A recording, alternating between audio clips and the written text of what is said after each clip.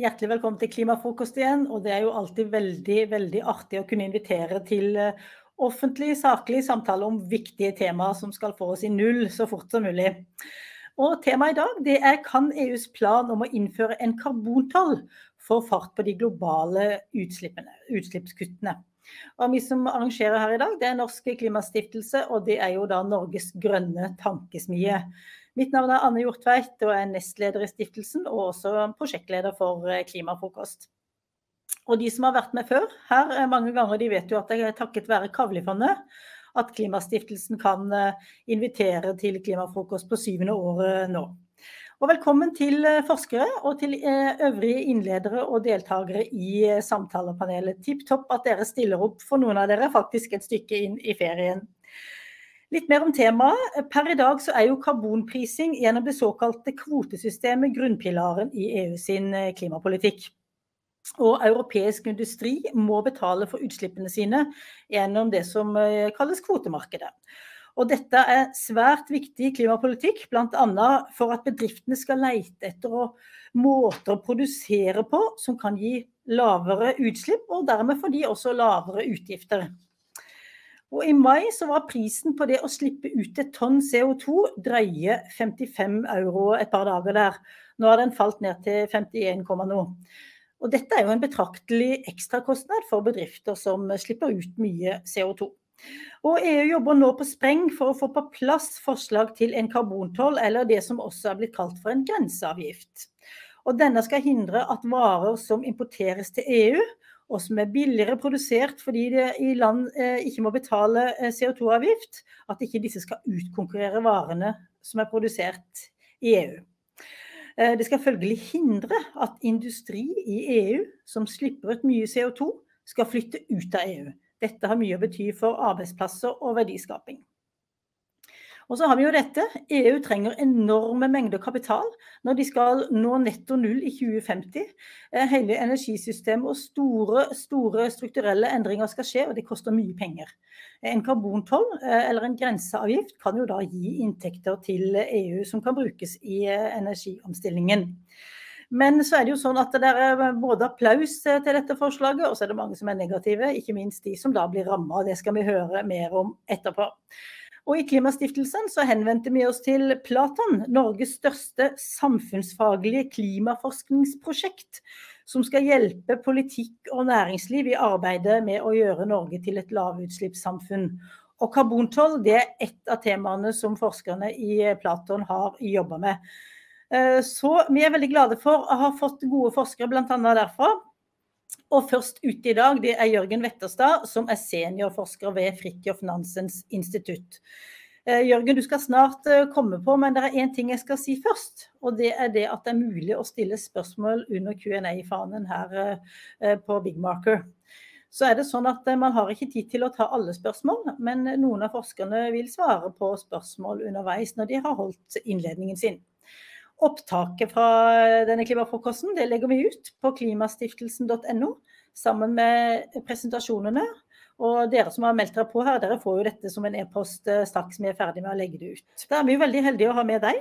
Eh, Knut Einar Rosendal, du er jo da eh, forsker ved, og professor i samfunnsøkonomi ved Handelshøyskolen ved Norges miljø- og biovitenskapelige universitet. Eh, og du har takka ja til å være med oss eh, her i dag på Klimafrokost for å belyse hvilke virkninger kan vi vente av de ulike måtene å utforme karbontollen på. Og dessuten kan vi løse utfordringer med karbonlekkasje med andre innretninger enn denne grenseavgiften. Så det skal du eh, innlede om, Knut Einar Rosendal. Vær så god. Takk for det. Skal jeg prøve å dele skjermen min. Da håper jeg dere ser skjermen min.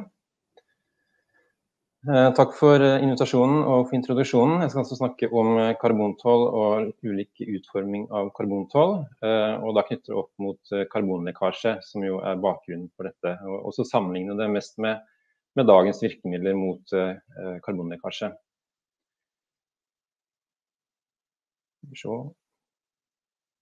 Der. Um, hva er bakgrunnen for karbontoll? Det er jo som nevnt eh, karbonlekkasje. Det har vært helt fra starten av. Og nå hadde sikkert Jørgen forklart det også litt eh, bedre i forkant normalt. Men bakgrunnen for dette er altså karbonlekkasje. Og karbonlekkasje, hva er det for noe? Jo, det er økte utslipp i utlandet som følge av klimapolitikk i hjemlandet. Så i dette tilfellet her da EU. Og karbonlekkasje det kan skje på ulike måter. De to viktigste kanalene det er antagelig for det første via internasjonale energimarkeder, altså oljemarkedet, kullmarkedet. Så når Europa bruker mindre olje og kull, så blir det lavere priser på verdensmarkedene, og så kan det føre til da, økt forbruk i andre land. Den andre kanalen, som er den viktigste når det gjelder karbontoll, det er via markedene for utslippsintensive produkter, sånn som metaller, sement, kjemiske varer osv. Her er det slik at når disse må betale for sine utslipp, så blir det dyrere produksjon. Da mister de konkurransekraft, og så kan det føre til økt produksjon i andre land. Og Det er her karbontollen kommer inn og kan bidra til å redusere lekkasjen via denne kanalen. Men så er det verdt å spørre da, er karbonlekkasje et omfattende problem? Og er karbontoll et effektivt virkemiddel, og også sammenlignet med andre virkemidler? Ehm, risikoen for karbonlekkasje den varierer jo selvfølgelig fra produkt til produkt. Eh, og denne figuren her, som er noen år gammel, fra 2015, den illustrerer i hvert fall to viktige faktorer eh, for da eh, en rekke sånne produkter.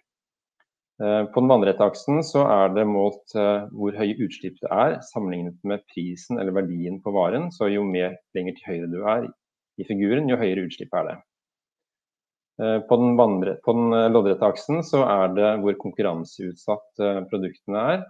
Og det er da målt som handelsintensitet, som betyr summen av import og eksport delt på bruken av denne, denne varen. Så kort sagt, jo lenger oppe til høyre man er i denne figuren, jo mer utsatt er man for karbonlekkasje. Og hvis du ser på de produktene som EU har tenkt å starte med når det gjelder karbontoll, så er det for det første stål, eller jern og stål. Eh, det er aluminium, det er sement, og så er det gjødsel. Og vi ser at disse er blant de produktene som er mest utsatt for karbonlekkasje. Så skal de også ha med elektrisitet, som var litt overraskende uh, umiddelbart. Men det skyldes nok at det er enkelte land, uh, EU-land som har handel med elektrisitet med land utenfor EU, særlig sørøst i Europa. Men hvor stort er egentlig karbonlekkasjeproblemet? Eh, det er gjort veldig mange modellanalyser der man bruker modeller for verdensøkonomien. og De finner veldig forskjellige resultat. De fleste ligger mellom 5 og 30 Det betyr at hvis EU eh, e reduserer utslippene sine med 100 millioner tonn, så øker da utslippene utenfor EU med mellom 5 og 30 millioner tonn, ifølge disse analysene. Så det er også gjort noen empiriske studier der man prøver å se på hva som faktisk har skjedd. Eh, og De klarer ikke å finne signifikant lekkasje i EU. Men det kan skyldes at kvoteprisene i EU har vært veldig lave fram til 2018. Og så kan det også være rett og slett at det er vanskelig å påvise statistisk at det faktisk har skjedd lekkasje. Det som er klart er at det er stor bekymring for lekkasje i Europa. Og i EUs kvotesystem så man da, gir man jo da ut store mengder gratiskvoter til de næringene som er mest utsatt. Og det eksplisitte formålet er nettopp å motvirke karbonlekkasje. Så er det flere studier som har, eh, har eh, kommet fram til at, eh, at tildeling av kvoter har vært i overkant sjenerøs i forhold til den risikoen for lekkasje som man har. I tillegg så har vi da også CO2-kompensasjon. Kvotesystemet fører til også høyere kraftpriser, fordi kull, kraft og gasskraft må betale for sine kvoter. Dette er jo særlig viktig for aluminium, som bruker veldig mye kraft. Denne ordningen er også sjenerøs, spesielt i Norge, vil jeg si. Eh, I fjor så var kraftprisen på Nordpol den var vel 11 øre per kWt, og CO2-kompensasjonen var omtrent like stor. Eh, nå var fjoråret veldig spesielt, bare for å tilføye det også. Og Så er det selvfølgelig også bekymring for tap av eh, jobber og ja. Men hvordan er det med gratiskvoter? Kan gratiskvoter motvirke karbonlekkasje? Eh, og En viktig betingelse for det er jo at tildelingen er betinget av bedriftenes aktivitet, f.eks. produksjonen. Og Slik er det i dag. EUs regler for tildeling av kvoter er slik at jo mer bedriften produserer, jo flere kvoter får den tildelt. Såkalt produksjonsbasert tildeling. Så Det betyr at dette fungerer som en indirekte subsidie av produksjonen. Så man kan si at kvotesystemet er en slags kombinasjon av CO2-pris og produksjonssubsidie til disse næringene. Og denne CO2-kompensasjonen eh, er jo da en ytterligere eh, subsidie. Men det betyr at gratiskvoter har en tilsiktet og en utilsiktet effekt. Den tilsiktede er jo nettopp det at det reduserer lekkasje, som er positivt. Mens det utilsiktede er at uh, denne produksjonssubsidien da, fører til at det blir for mye bruk av utslippsintensive produkter. Det blir for lite substitusjon mot mer klimavennlige produkter. F.eks. fra stål og sement til trevare, eller fra fossilbasert plast til bioplast. Så var det dette med karbontoll, som da EU vil erstatte gratiskvoter med karbontoll. Nå er det slik at Europaparlamentet vil jo gjerne beholde gratiskvotene, men å ha begge deler tror jeg nok blir vanskelig, i hvert fall i forhold til WTO. Så hva er da forskjellen? Eh, og det er flere forskjeller. Den ene er, henger sammen med dette jeg sa med at gratiskvoter er en implisitt eller indirekte subsidie, som betyr at det stimulerer tilbudet av egenproduserte varer. Karbontoll derimot det demper tilbudet av importerte varer. Så begge bedrer konkurranseforholdene for, eh, for, varer produsert i Europa, men de gjør det på veldig forskjellig måte. Så Det betyr at karbontoll ikke har denne utilsiktede effekten, eh, og derfor er en mer effektiv klimapolitikk. Denne forskjellen kan man imidlertid fikse ved å eh, kombinere gratiskvoter med en kjøpsavgift. En annen forskjell som Anne var inne på i starten, er at uh, mens gratiskvoter og CO2-kompensasjon er penger ut, så er jo karbontoll penger inn. I hvert fall for myndighetene, mens for bedriftene er det selvfølgelig motsatt. En tredje forskjell er at gratiskvoter det hjelper jo også bedrifter som eksporterer fra EU, mens en karbontoll vil jo ikke hjelpe disse eksportørene. Men da kan man supplere karbontoll med en eksportrefusjon, og det har man sett veldig mye på i den økonomiske litteraturen. Da blir klimapolitikken enda mer effektiv, men det kan være mer problematisk i forhold til bl.a. WTO. Det er gjort mange modellstudier av dette, der man da bruker modeller for verdensøkonomien. og Dette er ett eksempel på dette. Eh, der er utgangspunktet først eh, en, et case der EU reduserer sine utslipp ved hjelp av en CO2-pris. Eh, og Så prøver man da å legge på produksjonsbasert tildeling, altså gratiskvoter, da reduseres kostnadene av klimapolitikken for et gitt utslippsmål. Hvis man så i stedet legger på en karbontoll, så ser vi at da blir kostnadsreduksjonen større. Og den blir enda større hvis man også legger på eksportrefusjon. Og dette er ett eksempel, da, men, men, det er ganske gjennomgående at uh, karbontoll er en mer kostnadseffektiv klimapolitikk enn gratiskvoter. Og så er det dette med design, da, hvordan skal man utforme karbontollen. Det som er klart er at den vil være proporsjonal med CO2-prisen, så hvis kvoteprisen dobler seg, så dobles karbontollen. Og at den også er proporsjonal med utslippene ved produksjon av det produktet som importeres. Men så kan man tenke seg ulike dimensjoner, og da er det som er uthevet skrift, er det som EU har landet på foreløpig. Eh, for det første så vil karbontollen selvfølgelig skille mellom ulike produkter. så Det er eh, ulik toll for f.eks. aluminium og stål. Så her er det mer spørsmål om hvilke som omfattes, og det har jeg allerede vært inne på. Og så blir det litt eh, vanskeligere, for da er også spørsmålet hvilke utslipp som skal inkluderes. Og her er det jo sikkert en del av dere som har hørt om scope 1, 2 og 3. Scope 1 det er de direkte utslippene som skjer i fabrikken. Scope 2 det er da indirekte utslipp fra kraftproduksjon. Dette er spesielt viktig for aluminium som bruker mye kraft. Denne kraften produseres f.eks. med kullkraft, hvor det skjer en da eh, mye utslipp. Så har du scope 3, som er da alle andre indirekte utslipp. Så når bedriftene eh, henter inn eller kjøper innsatsvarer, så er jo de også produsert med noen utslipp. Eh, og dette regnes da som scope 3. Så hvor viktige er disse her? Uh, denne figuren har jeg fått fra en kollega, og det er basert på data fra 2014, men det er sikkert uh, fortsatt relevante i større eller mindre grad. Uh, den viser fordelingen på disse tre scopene. og Hvis vi starter med den kolonnen helt til venstre her, som da er for non-OECD Dette er da ikke-metalliske mineraler som f.eks. sement. og Da ser vi at den nederste delen her det er de direkte direkte scope 1-utslipp. Og så har vi scope 2 og så har vi scope 3 her oppe. Så scope 1, de direkte utslippene, utgjør en ganske stor andel. Men det er også en del fra scope 2 og 3. Når vi går til, eh, til stål, jern, så ser vi at de direkte utslippene, scope 1, utgjør en mindre andel. Og når vi går ned til aluminium, så ser vi at de utgjør en veldig liten andel av de totale utslippene. mens de indirekte fra elektrisitet betyr en god del. Men vi ser også at scope 3 også har en god del, en stor andel av de totale utslippene forbundet med disse varene. Så Det var en dimensjon. En annen dimensjon er differensiering på tvers av land og bedrifter. og Det aller enkleste er jo å ha lik toll for alle land og bedrifter. Så Importerer du aluminium, så er det en bestemt toll uansett hvor den kommer fra. Kan du gå litt et steg videre og si at den skal være differensiert på tvers av land, men ikke bedrifter. Så hvis du importerer aluminium fra Kina, så er det én toll. Er det aluminium fra Russland, så er det en annen toll. Men at det er akkurat den samme tollen fra ulike bedrifter i Kina. Så kan du gå et steg videre, sånn som EU da har, har, satset på, at du differensierer på tvers av bedrifter. Og Da må de dokumentere sine utslipp, og kan de ikke det, så er det en default, som er en ganske høy toll. Og Så kan man tenke seg en fjerde alternativ, og jeg er litt usikker på om EU faktisk lander på alternativ tre eller fire. og Det er at du har differensiert på tvers av bedrifter for scope 1, de direkte utslippene, men ikke for scope 2.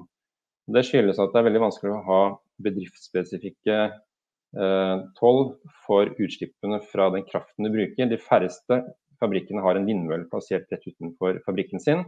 De henter strøm fra nettet, og da er det mer naturlig å tenke seg at det er utslippene i hele landet som, eh, som betyr noe. Eventuelt så kan man ha sånne opprinnelsesgarantier som beviser at her har man kjøpt fornybar kraft, men eh, jeg vet ikke om EU vil godta det. Ok, men Hvordan påvirker karbontollen karbonlekkasje? Og her er igjen en modellstudie som, som, vi gjorde for noen år tilbake, hvor vi sammenlignet ulike, disse ulike variantene av karbontoll. Uh, og igjen, uh, Det som er benchmark her, er en situasjon hvor man kun har CO2-pris. Og Figuren viser da import til EU, så det står eksport, men det betyr da eksport fra andre land og til EU. Og så vises det scope 1-utslipp fra denne importen. Og, da ser vi, ser vi at med CO2-pris så gir det økt import til EU og tilhørende utslipp. Uh, hvis man da tar den scope, en, en 12 som er basert på, kun på scope 1, så fører det til mindre import. Det blir faktisk mindre import enn uten klimapolitikken. Og vi ser at hvis vi tar med scope 2-utslippene, så faller importen enda litt til. Men vi ser også at det har ikke så mye å si i denne figuren i hvert fall, da, eh, om tollen er bedriftsspesifikk eller ikke. Så for konkurranseforholdene så har ikke det så mye å si. Når vi ser på utslippene, så ser vi at for det første så vil en toll føre til lavere utslipp fra denne importen. Eh, hvis du går fra scope 1 til også å ha med scope 2, altså det indirekte fra kraftproduksjon, så eh, faller utslippene fra denne importen enda litt til. Men det som virkelig betyr noe, det er å gjøre denne tollen bedriftsspesifikk. Da ser vi at utslippene faller en god del mer, altså utslippene fra, eh, fra importen til EU. Men så kan man jo spørre seg, da, eh, skyldes dette her eh, altså det, Denne figuren da viste jo utslippene knyttet til eksport til EU. Eh, og i hvilken grad skyldes dette bare reshuffling, altså er det sånn at denne tålen virkelig fører til lave utslipp og karbonlekkasje, eller er det bare sånn at det fører til endrede handelsmønstre? Slik at de som har lave utslipp, de selger til EU, og de som har høye utslipp, de selger til andre land. Og så er vi like langt. Det er jo et reelt spørsmål. Men I den samme studien så, så vi da også på den totale karbonlekkasjen, som da fanger opp alle disse eh, effektene, alle ringvirkningene i verdensøkonomien. Eh, og Da ser vi at eh, karbonlekkasjen faller når du innfører karbontoll. Og den faller mer når du tar med flere utslipp, altså du også tar med disse indirekte utslippene, disse scope 2-utslippene. Og den faller også enda mer når karbontollen blir bedriftsspesifikk. Så jo mer spesifikk, jo flere utslipp, jo lavere karbonlekkasje. Og Den samme konklusjonen gjelder også for de globale kostnadene av klimapolitikken. Altså kostnadene for å nå et bestemt utslippsmål globalt Eh, kostnadene med det faller når karbontollen blir mer bedriftsspesifikk, mer differensiert og eh, får med flere utslipp. Så er det en del andre viktige faktorer som vi ikke har tid til å diskutere i særlig grad. Men det ene er jo eh, hva med andre land som også har CO2-priser. Da har EU-kommisjonen sagt at de skal unntas. Men for meg i hvert fall er det litt uklart uh, hva de gjør med land som har et kvotemarked med stor, uh, stort omfang av gratiskvoter. Og så er det selvfølgelig et veldig viktig spørsmål hvordan vil andre land reagere. og Da kan man jo tenke seg både optimistiske og pessimistiske scenarioer. Det pessimistiske er jo at det blir handelskrig, det blir konflikt i WTO og det blir vanskeligere klimaforhandlinger. Mens det optimistiske er at det fører til mer klimapolitikk i andre land, og kanskje en klimaklubb der noen land går sammen og etter hvert får med flere og flere. Men det er vanskelig å vite hva som er mest sannsynlig, syns jeg. Og til slutt, eh, eh, etter hvert som kodetaket i EU strammes mer og mer til, så vil det føre til at, eh, at tildeling av gratiskvoter også må, må, strammes inn. Selv om gratiskvotene fram til nå har vært relativt sjenerøse, vil jeg si, i hvert fall for en del sektorer, så vil dette bli mindre og mindre sjenerøst etter hvert som kvotetaket reduseres. Og da vil fordelen med karbontoll øke mer og mer, tror jeg. Oppsummering. Karbonlekkasje er et reelt problem, men er kanskje litt overdrevet eh, av, og til. Eh, karbon, eh, gratiskvoter og karbontoll er to alternative måter å, å, reagere på dette med lekkasje. Karbontoll er mest effektivt, men det er også mest politisk sensitivt. Men så har da gratiskvoter noen uønskede bieffekter, som vi er inne på. Så har jeg vist at design av karbontoll er veldig viktig. Men her kan det være en avveining mellom treffsikkerhet og kostnader ved måling og kontroll, som vi ikke har snakket så veldig mye om. Forhåpentligvis så blir karbonlekkasjeproblemet gradvis mindre over tid, men jeg tror det tar lang tid før vi er der. Eh, men når det skjer, så er det jo da en selvfølge at gratiskvoter og karbontoll også kan fases ut. Så det var det. Takk for oppmerksomheten. Tusen takk skal eh, du ha, Knut Einar eh, Rosendal. Når du, når du snakker om dette, så, så, får man jo en følelse at det, kan, at det er ikke direkte rett frem, dette her. Eh, kan det ta lang tid, tror du, før man kommer i mål med eventuelt med dette med grenseavgift eller karbontoll? Ja, det er nok andre som kan si mer enn en meg om det, altså sånn som Jørgen. Men det er jo mange ting som skal på plass, mange detaljer og, og, og sånn. Så, og, og vi skal jo ha en pilotfase først. Eh, så De sektorene som jeg nevnte, er de de skal prøve å starte opp med. Så skal det vel etter hvert eh, utvides til flere sektorer. Eh, så ja, jeg vil tro det tar tid, men det kan nok Jørgen svare enda bedre på. Men Indre Øverland, du jobber jo da på Senter for energiforskning ved NUPI, som da er Norsk utenrikspolitisk institutt. Og så er du vel også professor to ved Nord universitet. Jeg har vært det, men jeg, er ikke professor to lenger på Nord universitet. Nettopp, men da vet vi det. Men da må du bare endre nettsida deres på NUPI. Men det er greit nok. Men, men eh, du fall jobber på NUPI, og du har jo jobba med dette temaet en god stund. Og du skriver også på Energi og klima, eller du har blitt intervjua på Energi og klima om dette temaet. Så de av dere som vil gå dypere inn i det som Indra har uh, av kunnskap her, kan også lese på Energi og klima, bare søke på navnet hans. Og du skal svare på dette spørsmålet her. Hva er forholdet mellom EUs karbontoll og en klimaklubb? Vær så god, eh, Indra. Ja, nå tror jeg lysbildene kommer opp. Jepp. Um, jeg tenkte først jeg skulle prøve meg på litt uh, begreps, begrepsoppklaring. Um, Eh, dette, dette, som vi vanligvis kaller for CBAM, altså Carbon Border Adjustment Mechanism, har jo veldig mange navn, som jeg har listet opp her.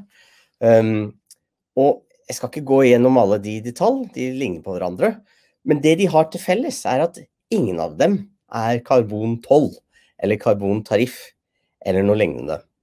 Um, og eh, årsaken til det er at EU ikke planlegger å innføre en karbontoll. EU vil innføre en karbongrenseskatt. Eller man kan bruke et av disse eh, mange begrepene her. Eh, men toll og tariff eh, er noe man unngår um, i, i, på dette området. Um, og dette kan jo høres ut som flisespikkeri, men det er ikke det. Det er veldig sentralt. Um, fordi en toll er noe som angår eh, som går veldig direkte på internasjonal handel. Og hele poenget med denne avgiften er at det er en intern prising av klimautslipp i, innenfor det europeiske området gjennom kvotesystemet, og at de som vil komme utenfra og selge varer inn til EU, også skal betale den samme prisen. Um, så det er eh, primært en, et internt anliggende. Og hovedutfordringen for uh, karbongrenseskatten er jo um, mulige krangler uh, rundt WTO og rundt frihandelsregler. Um, og det EU prøver å gjøre ved å, ved, ved å lage dette som en intern ordning, um, er nettopp å unngå noen av de kranglene. Så hvis man kaller det for en eh, karbontoll, så, så, har man på en måte i utgangspunktet argumentert eh, eller gått til angrep på det EU prøver å gjøre, og sagt seg uenig i dette og prøver å undergrave det. Og eh, Jeg skal komme tilbake til hvorfor dette er viktig eh, om noen øyeblikk. Eh, men først skal jeg svare på hovedspørsmålet mitt, som er hvorfor, hva som er sammenhengen mellom en karbongrenseskatt um, og en klimaklubb på den ene siden.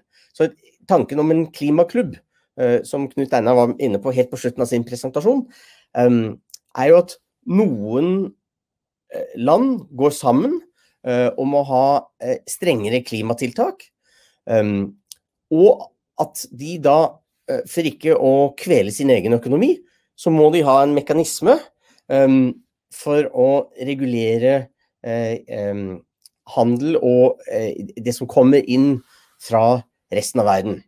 Eh, og det finnes mange mulige mekanismer som, og ordninger som kunne brukes for å, for, å, på en måte vokte grensene til en klimaklubb. Eh, men en CBAM, eller en karbongrenseskatt, er, en, og kanskje den mest åpenbare slike mekanismen. Og dette er ikke bare for å beskytte de landene som er innenfor klimaklubben, det er også Det kan også bidra til å um, oppmuntre land som er utenfor klubben, til å bli med i klubben. Så hvis du, hvis du produserer mye uh, som du vil selge inn i klubben, så kan du kanskje like godt eh, innføre egne klimatiltak med alt det positive det innebærer, um, og da slippe CBAM eller den mekanismen som er der. Så en klimaklubb forutsetter en slik en, en mekanisme à la CBAM. En CBAM eh, Hvis man ser på det andre veien, så kan en karbongrenseskatt, eller CBAM, faktisk, selv om den ikke formuleres som en klimaklubb, føre til en klimaklubb. Fordi den, eh, setter, den gjør det mulig for de som er innenfor eh, grenseskatteområdet, til å øke sin klimaambisjon, og den oppmuntrer land utenfor til å gjøre det samme. Så disse to tingene henger ganske mye sammen. Og så kan man spørre hvorfor prøver uh, Hvorfor um, si BAM, og ikke bare si klimaklubb? Hvorfor prøver EU å innføre CBAM, eller en karbongrenseskatt, og ikke, hvorfor erklærer den ikke bare at den prøver å, innføre, å, å, å danne en klimaklubb og, og, eh, og, få med seg resten av verden. Um, og Det kan være mange årsaker til det. Um, noen av de har å gjøre med William Nordhaus, som er, har blitt veldig berømt etter han fikk nobelprisen i økonomi, um, og som er en typisk amerikansk økonom. Og kanskje ikke det en del EU-aktører har mest lyst til å assosiere en veldig vanskelig tiltak med. han er også en økonom som jobber tidlig med miljøøkonomi, eh, men som også satte eh, Som gjorde en del valg i sine tidlige arbeider eh, som gjorde at naturen fikk lav verdi. Kompliserte greier, men veldig upopulært blant mange miljøvernere, med god grunn. Og så er også den hans artikkel om klimaklubb, som kanskje er den viktigste av mange artikler om, om klimaklubber, er eh, har en del økonomifaglig bagasje som, eh, som, gjør at han kommer litt skjevt ut. Eh, Bl.a. at dette presenteres at, at, at, det å forhindre klimaendring presenteres som et gratispassasjerproblem. Eh, noe det kanskje er litt feil vinkling på dette her. Så klimaklubb blir veldig assosiert med ham, og da blir det litt vanskelig um, for noen aktører uh, å støtte det. Um, det er kanskje litt overfladiske grunner. En mer substansiell årsak til at EU ikke snakker om dette som en klimaklubb, um, er at ved å ikke snakke om den som det, så kan det bli lettere å skape. Um, og da er vi tilbake til dette med WTO og frihandel og handelsregler. Uh, og man kunne kanskje argumentere for at, uh, at WTO ikke er så viktig som å redde klimaet. Kan vi ikke bare ta en uh, handelskrig? Trump har hatt sin handelskrig med Kina, og Biden fortsetter den til viss grad. Tidligere har man hatt mange handelskriger om, om, kylling og stål og mye rart. Så hvorfor kan vi ikke bare ha en handelskrig um, og kjøre på med klimatiltak? Og ta den krangelen. EU er ikke så lite at den, at den har så mye å være redd for. Uh, utfordringen her er at det blir veldig viktig og veldig vanskelig å holde på samholdet både internt i EU, etter hvert som man prøver å få flere land med på dette.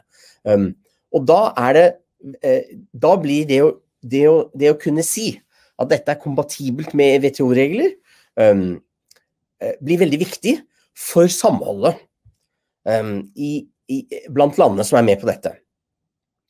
Og da er det lettere å gjøre dette som CBAM istedenfor en klimaklubb, og istedenfor å snakke om noe som går på, uh, som går på tollsatser og frihandel. og så prøver man å finne en Dette er et tiltak. Um, en karbongrenseskatt er en ekstremt vanskelig ting å innføre. Og det er også uh, noe av det viktigste EU noensinne har prøvd på. Um, dette er på nivå, eller enda viktigere, enn en euro eller Schengen osv. Kanskje viktigere fordi det til syvende og sist kommer til å påvirke hele verden og hele verdens klimainnsats. Så det er veldig vanskelig, men det er også veldig viktig. Det er et, um, et, et, et avgjørende tiltak Eh, etter 30 år med å prøve å forhindre klimaendring, så kommer man til det punktet nå hvor man prøver å ta det, det viktigste skrittet, som er å øke prisene, og da må man ha en eller annen eh, beskyttelse for sin økonomi. Og da prøver man, så mellom det som er veldig viktig og veldig vanskelig, så prøver man å finne en gylden middelvei. Man prøver å være litt, for, litt forsiktig, men ikke for forsiktig. Um, man gjør noen offer, Eh, fra egen økonomi, samtidig som man tvinger på dette på andre. Um, men på sikt så har man også kanskje noen fordeler fra dette. Det er veldig mange som har sterke meninger om karbongrenseskatt. Veldig mange av de meningene er negative. EU har gjennomført en stor offentlig høring. Eh, eh, mesteparten av det som har kommet med innspill til den høringen, Eh, er offentlig tilgjengelig på nett. Um, og det er også mye diskusjon i, i, sentrale medier som Financial Times og på sosiale medier om dette. Og det er veldig mange som har negativ mening. Um, og jeg tenker da at hvis man ønsker å ha en mening om dette, så er det en del spørsmål som er viktig å kunne svare på for en selv når man går inn i denne diskusjonen. Um, Delvis går det på om man i det hele tatt tror at uh, mennesker forårsaker klimaendring, vi må gjøre med det. Um, delvis går det på er vi i rute? Hvordan, hvordan, ser situasjonen ut? Har vi god tid? Har vi dårlig tid? Um, Osv. Og så er det også en del ting som går på nyanser, uh, før man går til frontalangrep på CBAM, som veldig mange gjør. Um, uh, har man tenkt på om det er mulig å forbedre det? Altså Har man forslag til hvordan man kan få det bedre? Man, hva, hva, er alternativet hvis man skal, eh, hvis man skal eh, forhindre klimaendring? Og være, hva er fordelene? Eh, både i et globalt klimapolitisk perspektiv, hva bringer CBAM til bordet? Um, og på hvilke måter kan det gi fordel for europeisk økonomi, både på kort sikt og på lang sikt? Eh, ved at, ved at, europeiske selskaper presses til å ta ledelsen på ren industriell produksjon. Og kanskje det viktigste spørsmålet, et, et, et spørsmål som jeg tenker er helt eh, sentralt her, er er det nødvendig um, at de som forurenser, det er både de som utfører produ forurensende produksjon og de som kjøper varene deres, forurensede varer, er det nødvendig at forurenser betaler uh, um, for at man skal redusere utslippene. Eh, jeg tror at hvis man er enig i at det er nødvendig, og det tror jeg veldig Jeg tror de aller fleste som jobber faglig med, eh, med klimautslipp, er enig i. Eh, så tror jeg at, at man får en, en, serie argumenter og en logikk som fører til at man må ha CBAM hvis man skal videre med å forhindre klimaendring. Det, det, å argumentere for at man ikke trenger å sette en pris på utslipp, tenker jeg er litt som å argumentere for at man ikke trenger å ha eh, obligatoriske skattesatser. At eh, Vi kan jo bare si eh, at alle kan betale så mye som de har lyst til. Og det er klart For noen så vil, så vil noen vil jo bidra, eh, men folk er veldig forskjellige. Eh, land er veldig forskjellige, selskaper er veldig forskjellige. Um, og jeg tror vi trenger et eller annet system. Vi har holdt på i 30 år uten å få et globalt system for det. Eh, med å prøve å forhandle om det. Og hvor de landene som ikke ønsker det, og de selskapene som ikke ønsker det, har i praksis hatt en slags vetorett på det. Um, og det EU prøver å gjøre nå, er å etter 30 år med, med mislykkede forsøk, og med Kyoto-avtalen som ikke fungerte, og Paris-avtalen eh, som er god, men som er veldig bløt, så prøver EU å ta nå det skrittet vi har ventet på hele tiden, eh, frem mot eh, å jobbe mer aktivt mot en, å sette en pris på klimautslipp. Tusen takk skal du ha, Indra Øverland. Dette var veldig interessant. Og så var det en ting du sa. Men først så skal vi få inn Jørgen Wettestad, sånn at han helt sikkert sitter og venter på det når du er ferdig, Indra. Um, det var én ting du sa og, som jeg beit meg merke i, og det er det at dette er veldig veldig viktig. Kanskje viktigere enn euroen. Kan du utdype det litt? Grann? Ja, altså Euroen er jo veldig viktig for uh, for utviklingen av europeisk økonomi og integrasjon i Europa. Um, CBAM vil være viktig på, en måte på samme nivå tror jeg, for utslippene i Europa. Men CBAM, uh, eller karbongrenseskatt, er også veldig viktig for resten av verden. Fordi den skaper et insentiv for at land som har stor industriell produksjon, skal gravitere, eller skal legge seg med inn mot EUs ambisjonsnivå. Så den er, den er, et forsøk på å øke ambisjonsnivået i EU, eller legge til rette for å øke ambisjonsnivået, og samtidig å få med andre land. At hvis, hvis de også uh, har en lignende pris på utslipp av klimagasser, så, så, vil de slippe dette, og de vil da få et lettere økonomisk samarbeid med EU. Og Derfor er det, derfor er det globalt viktigere enn Schengen eller euro, eller andre store reformer vi har hatt i EU. Jeg vil også si at man, man på norsk side ikke skal undervurdere um, den kraften det er i EU, uh, den, det brede politiske ønsket fra høyre til venstre på det politiske spekteret i EU til å gjøre noe med klima nå. Uh, og den ligger jo bak CBAM, hvor CBAM blir kanskje det viktigste tiltaket. Det var en grei eh, avslutning på din eh, gode innledning. Indra, du må bare bli værende i systemet her, for vi skal prøve å trekke deg inn igjen når vi har samtale til eh, slutt. Så er det da Jørgen Wetterstad. Du er seniorforsker ved Fridtjof Nansens institutt, og du er med oss nå. Og du skal gå dypere inn i spørsmålet EUs mulige karbontoll. Hva går ideen ut på, og hvem er det som former den? Og de av dere som har spørsmål til Jørgen, skal han eh, skrive det inn under Q&A-fanen mens han eh, innleder. Vær så god, Jørgen. Takk for det. Skal vi se. Ja, det, det, det, er naturlig å starte med litt om hva denne karbontollen er. men Det har da blitt presentert ganske bra allerede, så jeg kan være ganske kort på det. Men jeg skal snakke litt da om hvem som har forma denne ideen og dette forslaget, og vil forme den videre. Jeg skal ikke gå sånn kjempedypt inn i historien, men litt må vi se på det.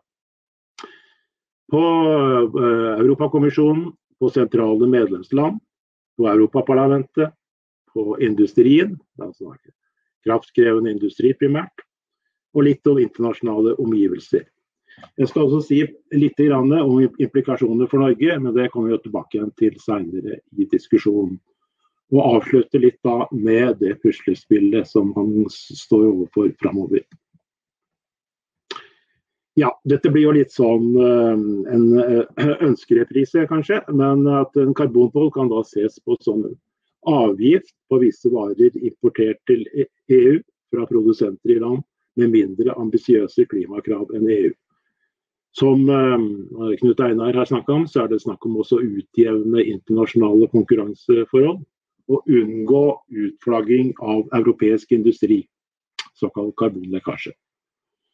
Og Tanken er da at denne karbontollen skal avløse gratiskvoter og CO2-kompensasjon, som har vært de sentrale virkemidlene så langt, som botemidler mot karbonlekkasje.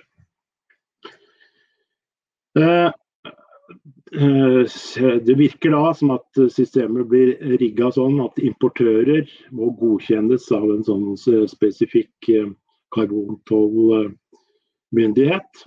Og da kjøpe såkalte sertifikater som tilsvarer den daværende kvoteprisen. Behovet for sertifikater vil avhenge både av å beregne det direkte utslipp fra produksjonen av disse varene. Indirekte utslipp, altså skal man også prøve å beregne altså den eh, utslipp fra kraft til produksjon av varene. Så trekker man da fra eventuell kvotekjøp, avgiftsbetaling i eksportørlandet. Det er klart at det Her ligger det uh, ganske kompliserte byråkratiske utfordringer. Både for uh, importører og kontrollører. Som nevnt uh, allerede, så vil dette formelle forslaget legges fram om en sånn par ukers tid. Som del av den store Fit for 55-pakka som legges fram vel 14.7. Uh, og de, de, dette er også nevnt, men det er uh, sannsynlig sektorer da, som vi vil uh, bli omfattet i den pilotfasen, er sement, kraft, gjødsel, jern og stål og aluminium. Eh, etter eh, det forslaget legges fram, så er det klart så går det da videre til eh, ny diskusjon i medlemslandene i rådet og, i Europaparlamentet. Og så vil jeg tro at man ender opp med en avsluttende såkalt trialog, hvor kommisjonen også kobles inn. Og hvis det er sånn som det virker som det, man tenker å ha en pilotfase fra 2023 til 2026, så er det klart at da tror jeg vi må ha, se et vedtak om røftlig et år. Eh, det er klart det er veldig mange tekniske detaljer i det her, som fortsatt er uklare så lenge vi ikke har sett det formelle forslaget. Men det er jo da lekkasjer som man kan sjekke uh, for videre detaljer. Ja, jeg skal da gå litt igjennom disse ulike hovedaktørene som har vært inne i bildet. Altså, uh, Europakommisjonen skal vi si at sånn kjerneting er at de har gått fra å være uh, tvilere til mer av troende. For karbontoll-ideen ble vurdert uh, fra kommisjonen så, så tidlig som i 2007-2008. Men kommisjonen har lenge ment at gratiskvoter og CO2-kompensasjon har, har, gitt nok beskyttelse mot uh, karbonlekkasje. Man har vært redd også for trøbbel da, med Verdens handelsorganisasjon, for at uh, dette skal bli oppfatta som et produksjonistisk tiltak og ikke et miljøtiltak.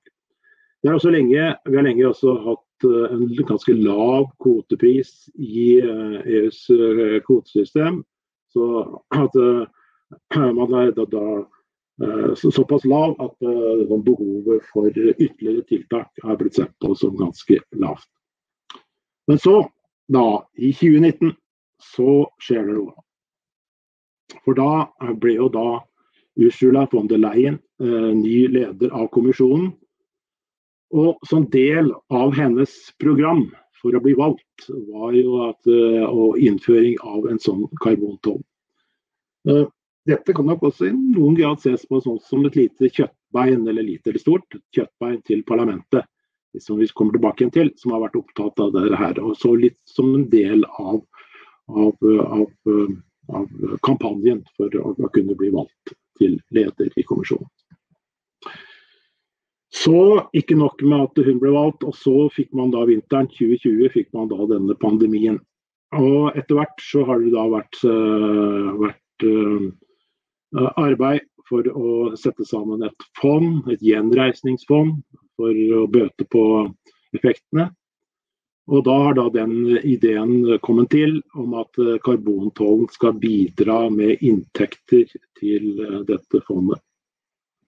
Et sånn konservativt estimat tror jeg fra kommisjonens side har vært på et eller annet sånn 5-14 milliarder euro i året.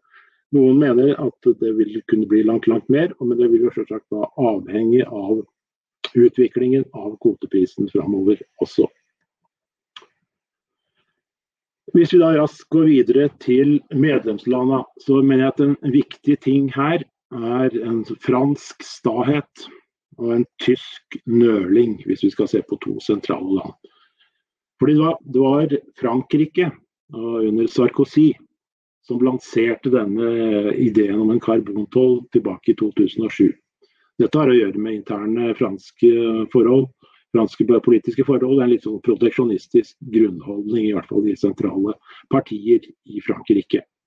Men det skal også sies at uh, franskmennene har holdt denne ideen varm under, uh, under skiftende regjeringer helt fram til i dag. Andre land har eh, overveiende vært ganske skeptiske. Ikke, ikke, minst inkludert da tungvekteren Tyskland. For det er den, Tyskerne har jo en stor tysk eksportindustri. De har vært, vært redd for mottiltak ved innføring av en sånn karbontoll. Men etter at vi fikk eh, Green Deal-initiativet eh, i 2019, eh, så har det blitt større interesse og større backing for dette, denne karbontoll-ideen. Dette har nok å gjøre med litt forskjellige ting. altså sånn som jeg har vært inne på, Dette med tanken tror jeg støttes ganske varmt hos en del. At det, at det skal bidra med midler til denne store gjenreisningspakka, eh, fondet. Eh, og så har man også klart, det har jo da Etter 2018 så har vi fått eh, en økt kvotepris, som jeg går ut fra at Ingvild vil snakke mer om ganske snart. Og selvsagt også da en sånn økt pris bidrar også til en økt frykt for en for reell karbonlekkasje. Framover så tror jeg at, eh, så klart at Tyskland er bestandig liksom et kjerneland å se på. Og at vi kan se på Tyskland som en sånn litt sånn splitta joker. Jeg tror Tyskland vil, eh, vil lande ned på en sånn motsette seg krav om en veldig sånn rask og drastisk endring av gratiskvote- og CO2-kompensasjonsordningen. Men jeg tror det er symptomatisk at vi så at eh, finansministeren ganske nylig gikk på banen og lanserte liksom sånn behovet for en klimaklubb, som Indra har snakka om. Eh, jeg tror ja, altså man, man, er, man, er, redd for en sånn alenegang fra EUs side. Hvis vi raskt da hopper videre til Europaparlamentet, så vil jeg si at en kjerneting der er en slags tvisynt støtte. For uh, Europaparlamentet har jobba sånn mer eller mindre aktivt med denne ideen siden uh, 2016. Og sammen med Frankrike på en måte holdt den saken varm, også før uh, von der Leyen kom på banen. Det er særlig miljøkomiteen i parlamentet som uh, har jobba med det her. og Det har vært litt av en sånn kampsak for de grønne i, i parlamentet. Andre grupperinger har vært uh, litt mer splitta med hensyn til denne ideen.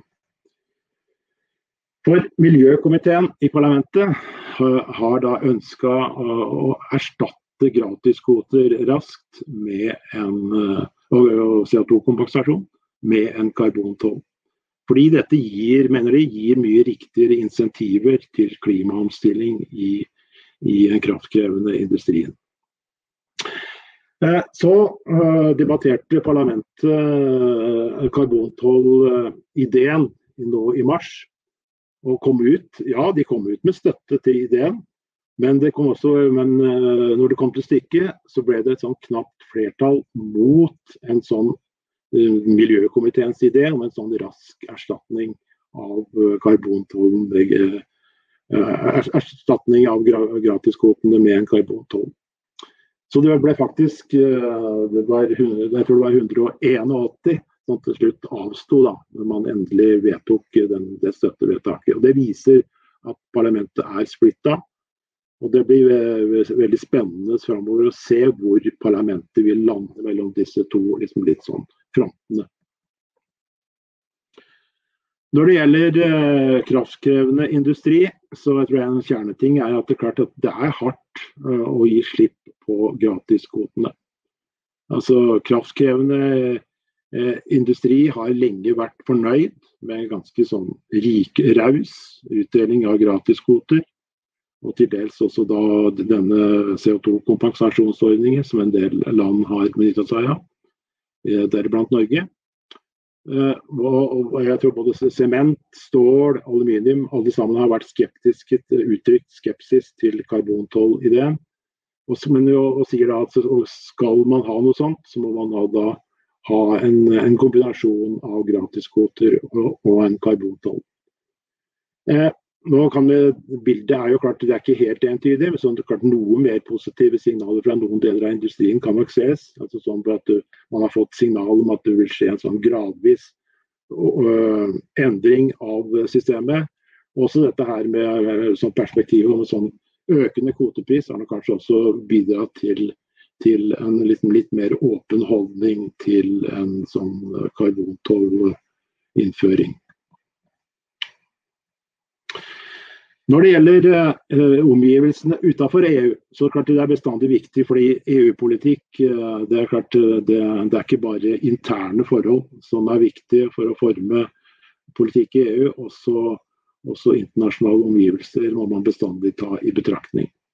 Her er en sånn hovedting, tror jeg, jeg, tror jeg vil si, at det har vært ganske stor og uttrykt skepsis til denne, denne EU-ideen. Men vi kan også se en viss grad en slags bevegelse. For det har vært eh, uttrykt skepsis fra de fleste av, eh, av EUs handelspartnere. USA, Kina, India, Russland eh, med flere. WTO-sjefen har gått ut og sagt at nei, dette med liksom sånn, bruk av disse midlene til covid-gjenreisning er ikke, ikke, i tråd med WTO-regler. Men hvis vi ser liksom litt, litt breiere, så ser du også en sånn viss sånn klimapolitisk tilnærming internasjonalt. Og du, du, har, du, har, fått en ny, ny, giv i USA under Biden, du har fått uh, nye mål i Kina osv. Så videre. så, sånn som Indre har vært inne på, altså, sånn, så man kan jo altså, Det kan jo kanskje også være en slags bevegelse mot et, et økende grunnlag for en sånn klimaklubb. Hvor uh, Vi har jo da sett at uh, Boris Johnson har vært på banen og og sagt at dette skal være en viktig del av, eh, av G7-arbeidet framover. Uten at det, det, kanskje kom så veldig mye fram på det siste møtet. Og det er klart at eh, sånn som det også uh, de andre har vært inne på, altså, dette er jo klart at det er en del av, klar del av motivasjonen for EU å bidra til mer ambisiøse uh, klimatiltak i, i andre deler av verden veldig raskt altså sånn uh, implikasjoner eh, for Norge. Uh, og dette kommer vi jo da ganske snart tilbake igjen til. Så det er ingen tvil om at norsk industri har vært kritisk. Og en sånn hovedting er liksom sånn If it ain't broken, why fix it? Hvorfor reparere noe som fungerer?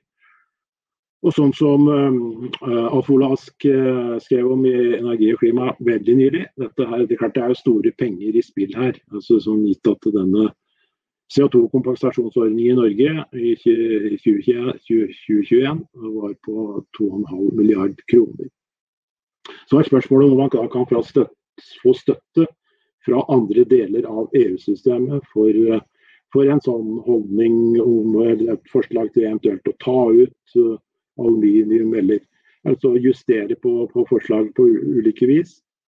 Uh, uh, så, sånn som vi sånn som jeg har registrert, i hvert fall Danmark har vært en ganske sånn eksplisitt forsvar eller sånn støtte til karbontollideen. Så kanskje det er mer at Sverige og Finland kan, kan, kan støtte en sånn eh, litt mer um, uh, fleksibel modell. Og så har vi så klart jeg har vært inne på Tyskland, som, som også uh, tror jeg også vil være skeptisk og vil være med på liksom et sånt litt mer uh, fleksibelt opplegg. Og EU-parlamentet, som jeg også har snakka om, som, som, hvor det er eh, klart, eh, klart, mange som vil være skeptiske til en veldig sånn rask eh, endring av systemet i retning av bare kun karbontoll. Så For å avslutte, så er det klart at vi står overfor et ganske og er ikke De som skal bestemme der, står overfor et ganske sånn intrikat puslespill framover. Bare for å gi noen eksempler. Så er det liksom sånn, dette her med at man skal lage et opplegg som det har blitt foreslått, da, med gratiskvoter og karbontoll samtidig. Det er klart at store deler av, viktige deler av EU-industrien sier ja til det. Verdens handelsorganisasjon sier nok klart nei. EU-parlamentet er jo da splitta. Kanskje nei, kanskje ja. Uh, bruk av karbontollen til, til covid-gjenreisning, så er jo det virker på meg som en ganske sånn viktig del og viktig faktor for mange medlemsland. Igjen, Verdens handelsorganisasjon er, er negativ til det. Og EU-industrien vil jo litt si hm, og jeg trodde disse, disse, disse inntektene skulle gå til å erstatte gratiskvoter og CO2-kompensasjon.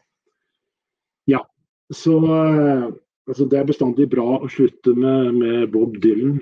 Eh, så jeg tror at hvis vi skriver om Bob litt, så kan vi si at do think twice, it's all, all right. Takk for meg. Tusen takk skal du ha, Jørgen Vettestad. Da har jeg ett eller to spørsmål til deg, egentlig.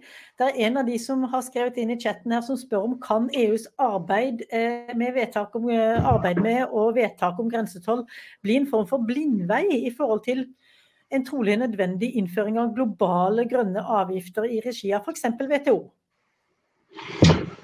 Mm, ja, det blindvei, det, det, er klart at uh, Eh, det,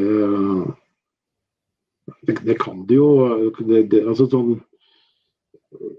det kan det jo bli, men eh, men igjen, altså sånn, er jo, tanken er jo da Jeg har jo eksplisitt vært hele veien at, at dette, skal, dette, skal, være et virkemiddel det, langs den veien. da, Mer enn at det skal liksom være At det skal stoppe det arbeidet. Så at, uh, men, men vi, vi, vi, ser jo også at det er klart det har jo vært, eh, vært en stor skepsis. så Det kan jo være liksom sånn at uh, hvis, hvis, det fortsetter og, og brer seg, så, så, kan det jo utvikle seg til en blindvei. Men jeg tror det er veldig sterke krefter innad i EU som er oppmerksomme på akkurat det argumentet. Da, og vil, vil, vil da bidra til å lage et opplegg fra EUs side som som uh, gjør at man unngår nettopp den blindveien.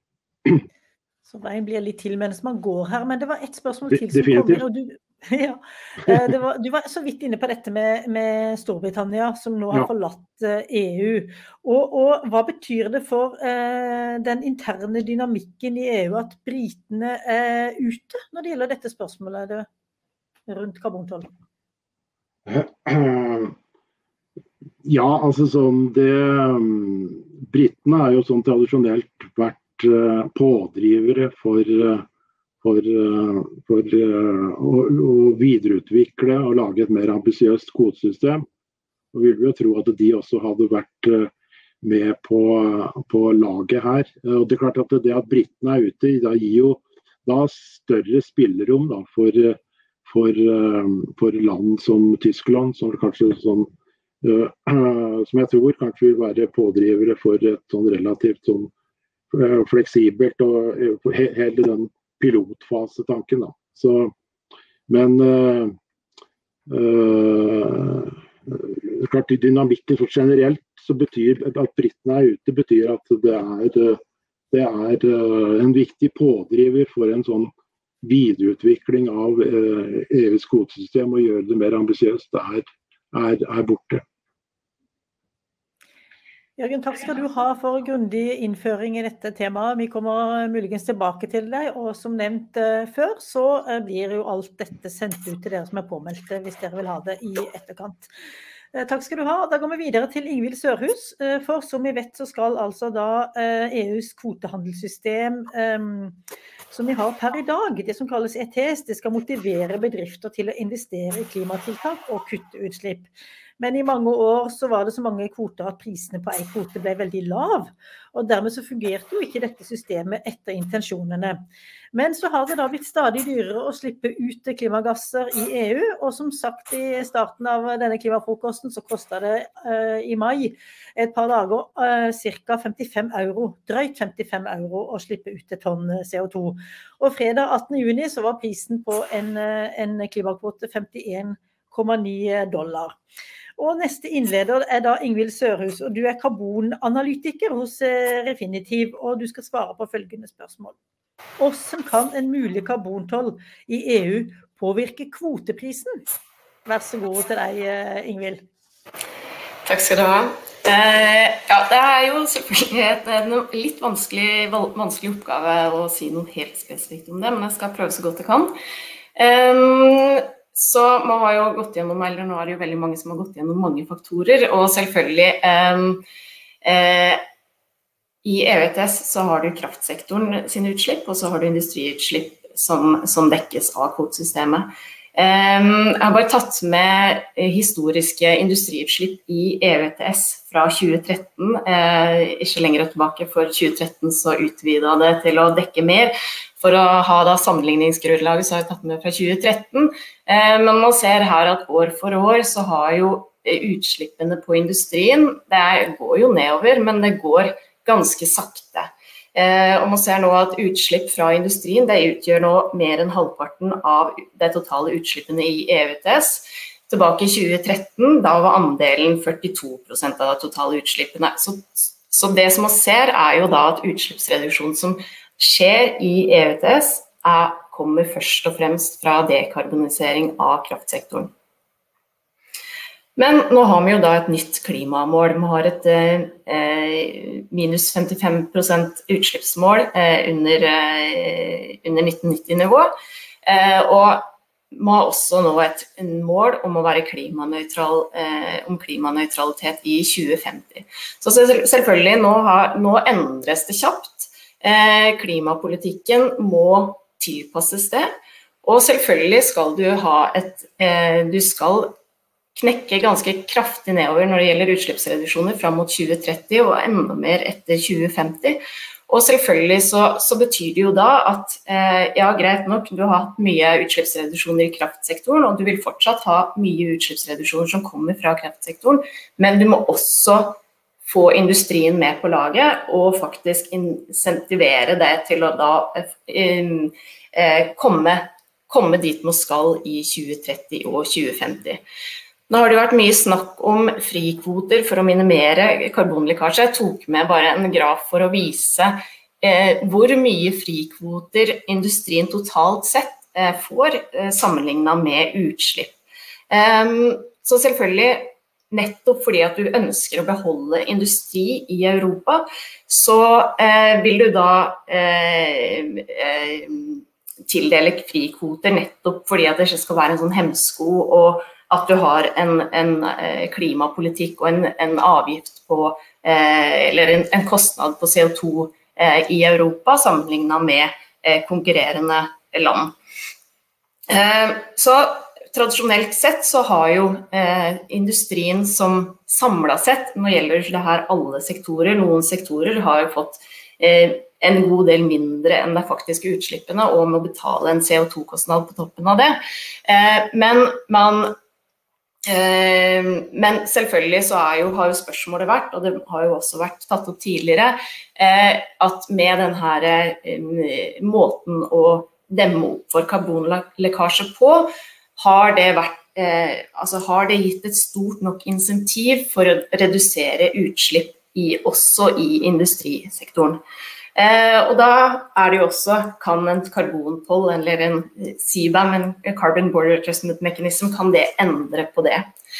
Eh, det har vært mye snakk om prisene. Jeg tok med bare en prisgraf, bare, eh, for jeg tenkte det ville sikkert være noen referanser til til eh, karbonprisen.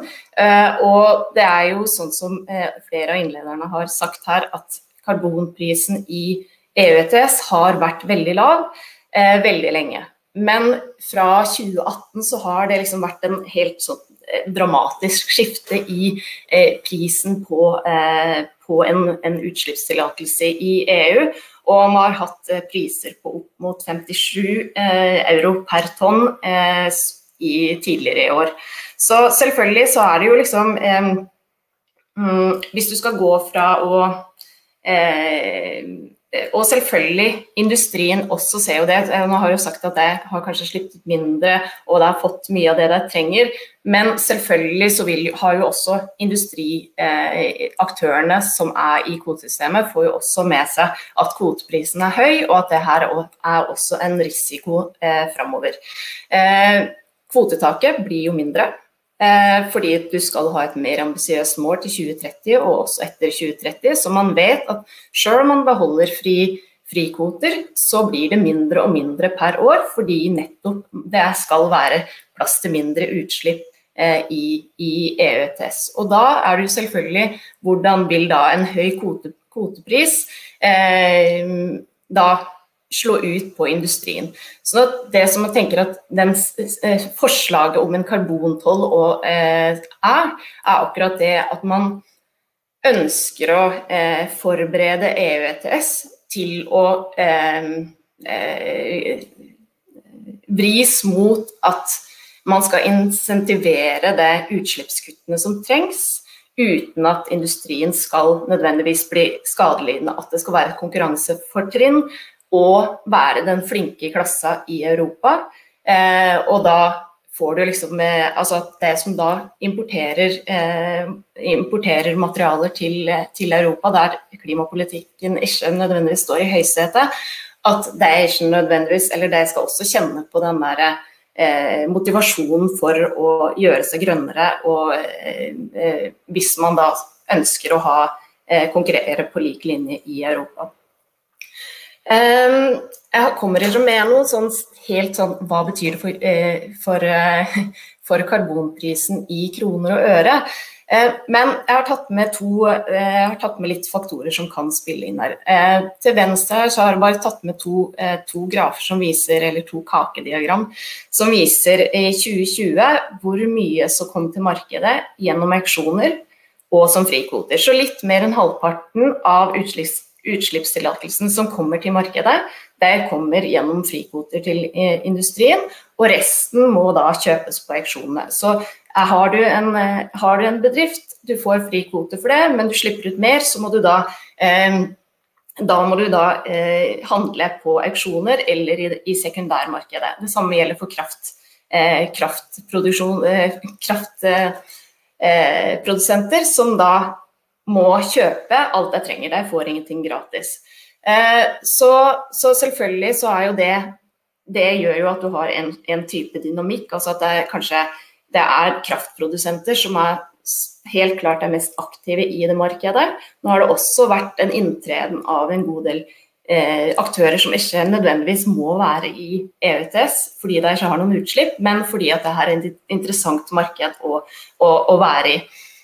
Um, den kakediagrammet nederst, der har jeg også tatt med bare sånn eh, illustrativt eksempel der man ser en utfasing av frikvoter med auksjoner som, som, øker.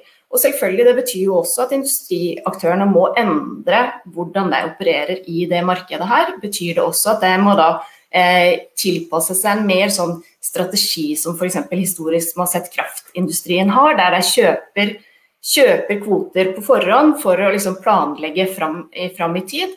Eh, og Det betyr jo da at kanskje industrien da vil eh, kjøpe på forhånd. Kan de da holde en større del av eh, kvotene som er tilgjengelig i markedet. Det vil jo da ha en, eh, ha en mulig eh, oppsideeffekt på, på, eh, på kvoteprisen.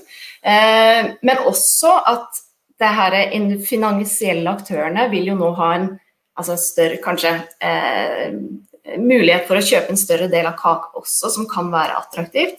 Sånn at du får nok en endret dynamikk dersom du skal ha industri som går over eh, til å også konkurrere om denne eh, tilbudet som kommer på, på auksjonene. Eh, du kan jo også få industri, økt eh, industriell aktivitet i EUTS. Eh, og det vil jo også Eh, gjøre at du kanskje da får økte utslipp fra industrien eh, med økt produksjon.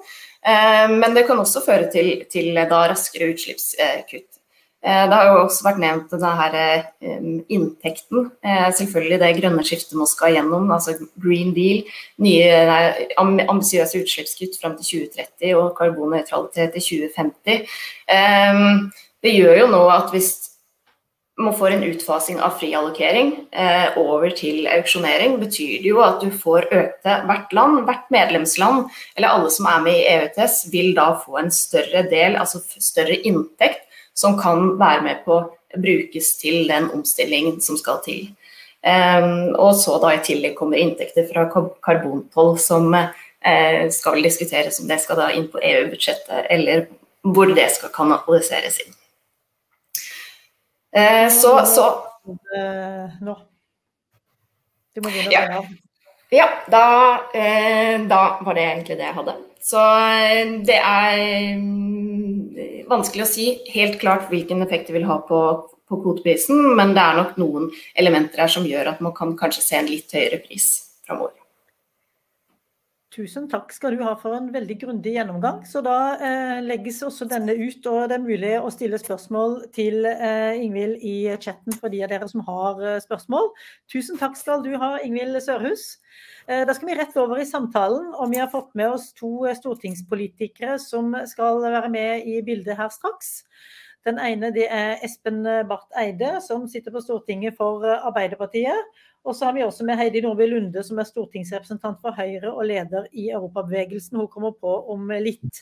I tillegg så må vi jo ha med industrien, som er viktig når man snakker om akkurat dette her. Og det er da representert ved Rønnaug Sægrov Misterud, som jobber i Norsk Hydro, eh, og som er leder da for alt som har med som leder eh, Hydros arbeid med det som går på forholdet til EU. Så begge dere to, Heidi Nordby Lunde og Rønnaug Sægrov Misterud, dere kan bare logge dere på når dere hører dette her. Men jeg skal begynne med deg, Espen. Eh, hvordan vurderer du EUs eh, e karbontoll eller da grenseavgift som et klimapolitisk virkemiddel? For det er, jo, det er jo det man er på jakt etter her. Å kutte utslipp uten at man mister muligheten til å drive verdiskaping og beholde arbeidsplasser. Så dette med klimapolitikk, hva tenker du Espen? Jeg tror vi skal ta inn over oss at dette er eh, et veldig godt eksempel på noe vi kommer til å se mer av, nemlig at eh, det at klima nå settes i sentrum for det meste av politikken, kommer til å endre på veldig mange andre deler av politikken. og Det vil ikke minst påvirke handelspolitikken globalt og regionalt. Eh, og så er det utrolig viktig å understreke det som Indra Øverland sa veldig godt, at dette er jo ikke en tradisjonell toll det er altså en avgift som i teorien i hvert fall skal pålegges kun de som ikke selv eh, priser utslipp, eh, slik at man på en måte kan kjøpe seg bort fra den ved å innføre sin egen karbonprising, og at det derfor kan sette en slags standard som det faktisk blir en slags interesse for å koble seg på. Men det er veldig krevende. Det er uh, langt igjen. Det kommer til å være mange debatter. Og det er utrolig viktig at uh, både norske myndigheter og norsk industri er eh, ordentlig på denne diskusjonen. Eh, fordi dette berører oss sterkt. og Det er et veldig godt eksempel på at EØS-avtalen eh, e ikke løser alle spørsmål. Vi er nødt til å også gå inn i hva som nå kommer fra EU i forhold til å, å, å gjøre alvor av klimapolitikken. Men som egentlig alle forskerne har sagt i dag, og som jeg er enig i, så er det klart at noe må gjøres her. fordi at det grunnleggende dilemmaet er jo at når velstående industriland i stadig større grad faktisk tar inn over seg at det har gått altfor treigt, og vil få opp farten i omstillingen, så ønsker de å gå bort fra et system hvor man sier at utslipp skal prises, men pga. Eh, på grunn av faren for eh, karbonlekkasje så undergraver vi litt vår egen politikk ved å, ved å liksom gjøre den mindre effektiv. Og Hvis det finnes et system som både er rimeligere for de statene det angår, mer effektivt, og som samtidig løser karbonlekkasjeproblematikken, så ville jo det vært et kinderegg. Og Så er det spørsmålet om dette er det. Men jeg tror rett og slett, bare avslutte med å si det nå innledningsvis, at dette har en voldsom kraft i EU nå. Eh, det er bred støtte i Europaparlamentet. Det er riktig at det ble et litt rart vedtak. fordi at Først vedtok man måtte med stort flertall å ha en form for karbongrenseavgift. og så stemte litt over halve parlamentet etter en dyp politisk splittelse for at man ikke skulle ta vekk de ordningene det skulle kompensere. og Det går jo ikke opp i WTO, så det er nok et stykke igjen før vi vet den endelige, endelige løsningen her. Men, men, fra norsk side tror jeg dette, det man bør gjøre med dette, er å erkjenne at det kommer noe Og så bør man gå aktivt inn i dialogen om hva det bør være, hvordan det kan utformes, hvilke problemer vi ser, og jobbe med hvordan dette vil treffe oss. Bare et spørsmål til før vi går videre til nestemann. Espen, eh, det er jo eh, rett og slett litt fortvilelse når man snakker om at det går for seint å kutte CO2-utslipp. Eh, og så ser man at i noen land så bygges det da kullkraftverk, og Kina er et eksempel på det. Og så importerer man mye fra akkurat de landene som da produserer med, ved bruk av veldig mye CO2-utslipp. I hvilken grad kan du utdype det litt mer? Hvordan karbontoll kan tvinge Eh, eller være egnet til å tvinge de store utslippslandene og eksportlandene til å kutte utslipp. Eh, kan du utdype det litt? For det er jo det som er noe av formålet her. Altså Formålet er jo at altså, hvis dette systemet, altså med alle forbehold som vi alle har tatt av, men hvis dette systemet kommer på plass og blir effektivt, så vil det jo være sånn at en del land som eksporterer til Europa eller til en region eller et land som har karbongrenseavgift, vil etter hvert tenke at det må da være smartere å ta de pengene selv enn at de skal ende opp på den andre siden. Ikke sant? Fordi at, at, da kan man altså, hvis, hvis, du ikke har utslipp hjemme, så må du betale utslipp når du kommer til Europa. Da kunne du egentlig like godt ta pris på det utslippet hjemme. og Det er også derfor som Indra igjen sa, at dette kunne være en potensielt selvekspanderende klimaklubb, fordi det blir en slags interesse i å ekspandere. Eh, eh jeg tror at dette er en slags standardsetter. Jeg tror at det blir viktig å følge med på hvordan dette blir WTO-kompatibelt. Negoso Koyo Evaela, som er ny generaldirektør, har jo sagt at det er ikke, det er ikke umulig å gjøre karbongrenseskatt WTO-kompatibel, men da må man unngå at det er liksom doble fordeler. Eh, så hun ville være veldig skeptisk f.eks. til at man hadde både karbongrenseavgift og gratiskvoter samtidig. Det er ikke hun som bestemmer, det er medlemslandene. Men det er nok et viktig signal om hvordan det blir tenkt i WTO. Men jeg vil bare si at jeg tror at vi nå er på vei inn i en verden hvor klima vil bli mer styrende også på handelspolitikken. Fordi frihandel, som i utgangspunktet jeg mener er en bra ting, har jo også sine sider i forhold til store mengder transport over verdenshavene. altså Nettopp den risikoen for gratispassasjerer og sånn. Og Dette må man få en eller annen form for orden på. Det er det EU prøver her. Så, så, jeg mener at man skal møte dette med sånn positivt grunnsyn. Men så må man uh, gå ganske solid inn i hva det er og ikke er, og ikke minst passe på at vi er på, på, riktig side av alle disse nye grensene. Da. Vi skal straks innom til eh, Hydro, men først skal vi til Høyre. og er det, Du er med der, Heidi Nordby Lunde. Hvordan vurderer du eh, denne klimatollen som et slags klimapolitisk virkemiddel? Vil det fungere, og hvordan tenker du innretningen er på dette nå? Vel, For det første så synes jeg dette viser nok en gang da, hvor eh, progressive EU er, eh, og hvordan de går fram eh, i de store spørsmålene. Det er skattlegging av store selskaper og finne nye innretninger på det, men også løse klimaproblemet. Um, så, um, så, er jo jeg en tilhenger av markedsøkonomien, og jeg mener jo at nøkkelen til omstilling ligger nettopp i um, forutsetter en riktig prising av innsatsfaktorer. Eh, og riktig regulering. Og Det er vel der det store spørsmålet og uenigheten er. fordi jeg ser at Det er flere som mener at denne innretningen vil gjøre at europeisk industri, som har det laveste karbonavtrykket i utgangspunktet, at det vil gjøre det mindre konkurransedyktig. Men så er det som med alle andre forslag da, som kommer til eh, parlamentet. Eh, dette her er jo ikke hugget ut i stein. Dette her er jo et forslag som ligger på bordet, og vi har fortsatt litt tid til å påvirke. og Da vil jo jeg med mitt utgangspunkt mene nettopp det, at Norge burde vært fullt og helt medlem av EU for å kunne påvirke mer. Og så hører jeg at min nabo har funnet dette tidspunktet for å begynne å drille, så jeg håper ikke det forstyrrer for, for mye. Men dette her er jo da en god tanke. Eh, den er ikke ferdigstilt, den skal gjennom politiske prosesser. Vi kan ikke ta hele EU-debatten i dag, men den kan vi gjerne ta en annen gang. Men uh, takk skal du ha. Vi går, vi går videre til industrien. For Rønnaug uh, Sægrov Mysterud, du er visepresident og leder for EU Affairs i Norsk Hydro.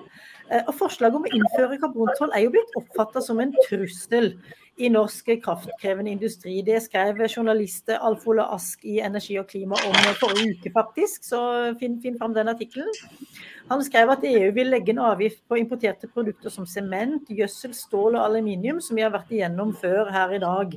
Og dersom disse produseres uten utslippskostnader eller CO2-avgift, som vi har vært igjennom. Og, og um, dere i Hydro er jo særlig skeptiske til ordningen med karbontoll, uh, fordi at den vil ramme dere spesielt. Og, og hva tenker du som aluminiumsprodusent knytta til denne tollen?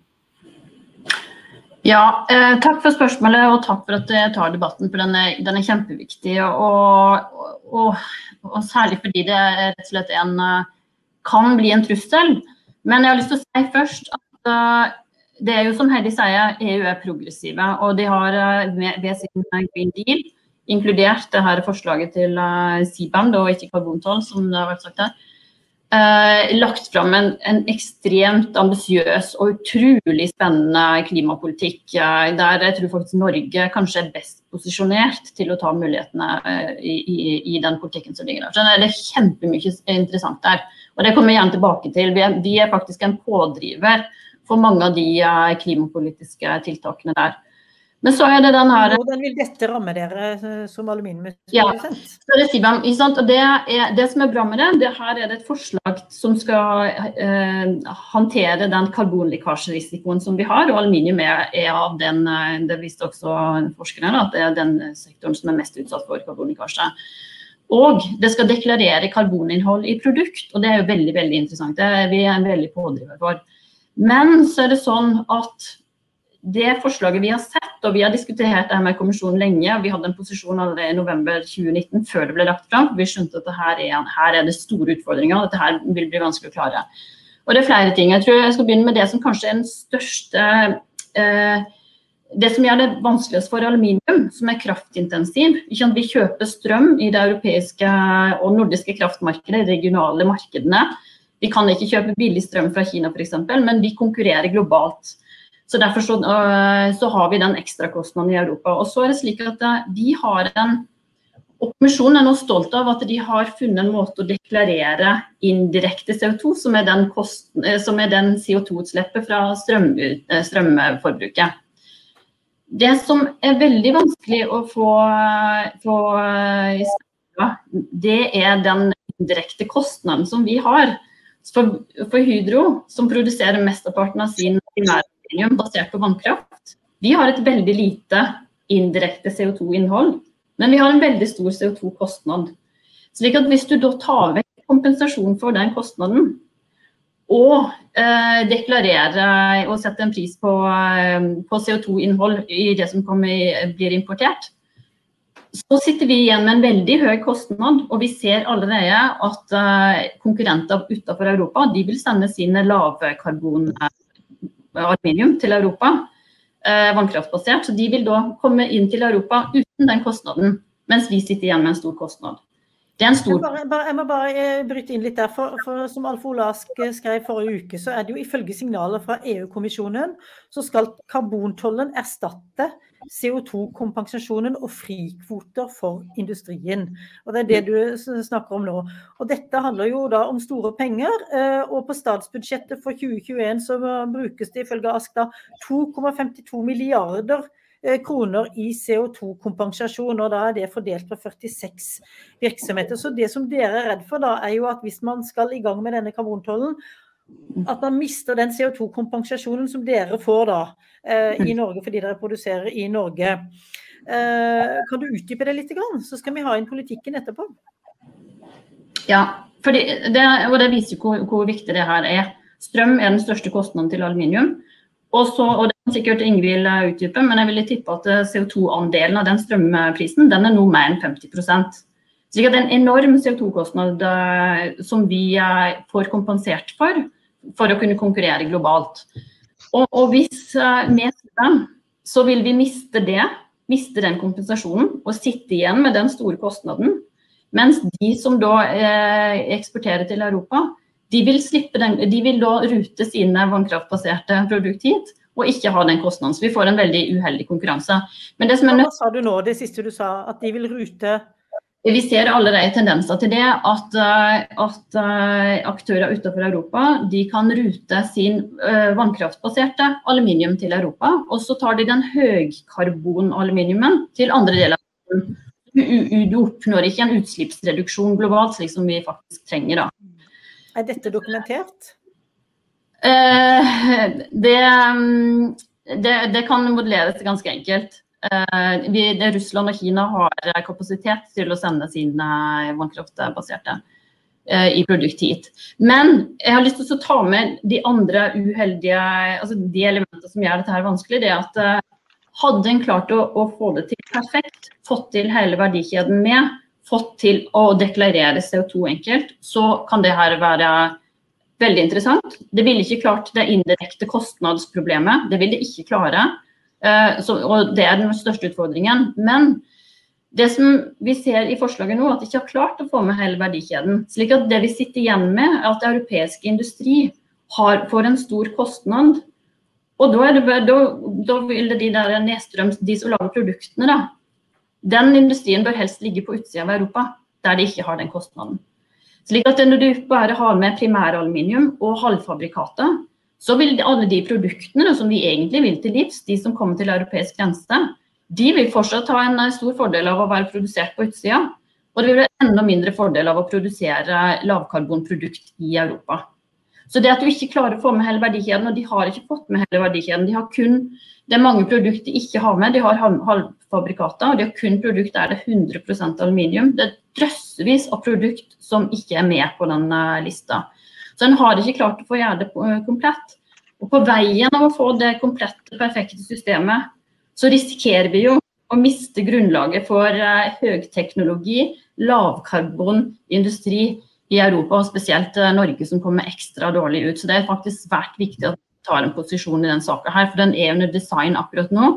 Og vi må passe på at vi ikke gjør noe feil i utformingen, i startfasen av noe som er svært omfattende, svært krevende, men ekstremt interessant, fordi det dreier seg om å putte pris på CO2, eh, deklarere eh, karboninnhold i produkt, og det dreier seg om å sørge for at Europa kan ha grønn vekst krevende og interessant, sier du. Og så er det jo også veldig viktig å få til et system som gjør at man nå kutter CO2-utslippene mye raskere enn det man har gjort. Og EU har jo satt seg veldig ambisiøse mål der, men eh, samtidig så vet man at de målene de har satt, det er det som skal til for å begrense den globale oppvarmingen.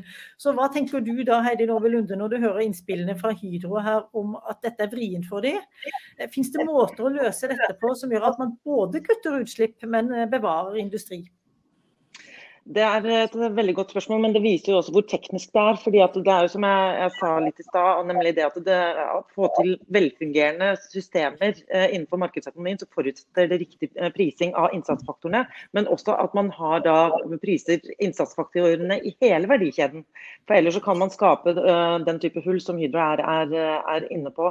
Og igjen, nå er jo forslaget på bordet, og det betyr jo at det er tid til å diskutere det og finne innretninger. Men det viktige, tror jeg, er jo at industri industrien ikke bare sier nei, men kommer opp også med sine innspill på hvordan dette kan gjøres på en bedre og smartere måte.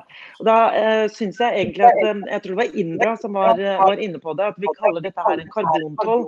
Men det det egentlig burde eh, kalles er en grensetilpasningsmekanisme. fordi at det kanskje gir bidra til at vi har en bedre diskusjon på hva slags innretning og hvordan den innretningen kan være. Og så er jeg ikke teknolog, så jeg kan dessverre ikke bidra med de, det perfekte svaret på hvordan dette kan løses. Men vi har jo sett tilfeller på tidligere hvor, hvor industrien i enkelte tilfeller, jeg husker i hvert fall med innføringen av finansskatt, så sa finansnæringa bare nei. Um, uh, når vi kom med alternativer, så sa de bare nei, dette var helt uaktuelt. Og så ble det innført en finansskatt, og så fikk de den verst tenkelige i hvert fall ifølge seg selv. Og så var de plutselig villige til å diskutere den. Så jeg er helt enig i at Norge her skal ha en posisjon, men posisjonen kan ikke være å si nei, dette fungerer ikke. Vi må tenke på noe helt annet. Posisjonen må jo være å se på hvordan helheten i dette systemet skal fungere. Fordi Hydros interesser her er jo langt på vei også EUs interesser. Nemlig det at man ikke skal få en utflytting av arbeidsplasser. Nemlig det at europeisk industri skal fortsatt kunne være konkurransedyktig. Og at EU skjønner selv at de er en normsetter for som påvirker globale verdikjeder. Og Det kan ikke være slik at man reduserer utslipp internt bare for at man skal ta det igjen eksternt. Da har man jo mistet hele målet. Så er det jo sånn at eh, Forurenser skal betale-prinsippet blir eh, stadig understreka og er viktig. Så Hvordan kan man se det, situasjonen til industrien i Norge ut ifra det eh, perspektivet, Espen Barth Eide? Jeg, jeg syns egentlig det, det Heidi Nordby Lunde nå sa var bra, ja, og jeg, jeg, mener at det Rønnaug Mysterud sier er, er viktig. Eh, det, det, er i utgangspunktet en god idé. Djevelen ligger i detaljene. Det er liksom, man kan veldig godt ende opp med andre utfall enn man ønsker seg. og Derfor så trenger man en veldig grundig og god dialog på det. Men så er jo også dilemmaet til EU at altså, i en perfekt verden så hadde du hele systemet ferdig med en gang og innførte det med et bang. Men det skjer jo ikke. Så man må begynne et sted. og Det er liksom første forsøk i verden. og det vil det er viktig at det forsøket lykkes, for det vil sette trenden. Det vi nå ser, da, er at moderne industriland i stadig større grad nå omfavner 1,5-gradersmålet setter klimaet mer i sentrum. ikke sant? Altså, build back better. Eh, og dette, ikke sant? Karbongrenseskatt skjer ikke i et vakuum, men det skjer jo parallelt med en større vilje til å gi insentiver til utvikling av industrien. Det vi, I Arbeiderpartiet snakker vi om klimapartnerskap, det har litt ulike navn. Men at du i tillegg til prising, og du også setter deg ned med industrien og sier hva er det i infrastruktur, i skatte- og avgiftsordninger, i tiltak, i støtteordninger, i forskning og utvikling som gjør at man kan komme fortere fram. Fordi hele poenget til EU, og det er et veldig godt poeng, det er at man skal liksom prøve å løse klimakrisen og samtidig posisjonere europeisk industri godt i internasjonal konkurranse i en verden som prøver å løse klimakrisen. I, I, løpet av dette, de tiårene vi nå går inn i, så vel, vel, veldig mye av den teknologiske konkurransen går på hvem som finner de nye løsningene. Og Da gjelder det å ikke klamre seg fast i de gamle, men det er å gripe de nye og, og beskytte seg mot at det blir urimelig dyrt for uh, arbeidstakere og eiere og sånt på veien dit. Da. Og Derfor er denne dialogen så veldig viktig. og Jeg mener også, som Heidi, jeg er glad vi er enige om det, at norsk industris tilnærming bør være ja, men. Altså ikke sånn huff a meg, vil ikke. Men eh, uh, interessant, viktig, men vi har noen veldig viktige innspill dere må høre på. Og det er litt det jeg Hvordan tenker du industrien har vært skeptisk til, til denne Industrien har vært skeptisk til denne tollen, og de har også levert eh, høringsinnspill knytta til dette. her. Tenker du at industrien i Norge er framoverlent nok når det gjelder akkurat dette her? Ikke bare ja, men vi vil ikke, men man må også si ja, og vi har lyst til å være med på dette. Blir det for negativt og hva skal jeg si, bakstreversk? Espen, Espen, det er til deg. Eh, altså, det, det, første jeg hørte fra eh, Vi snakker ikke her om Hydro spesielt, men de første signalene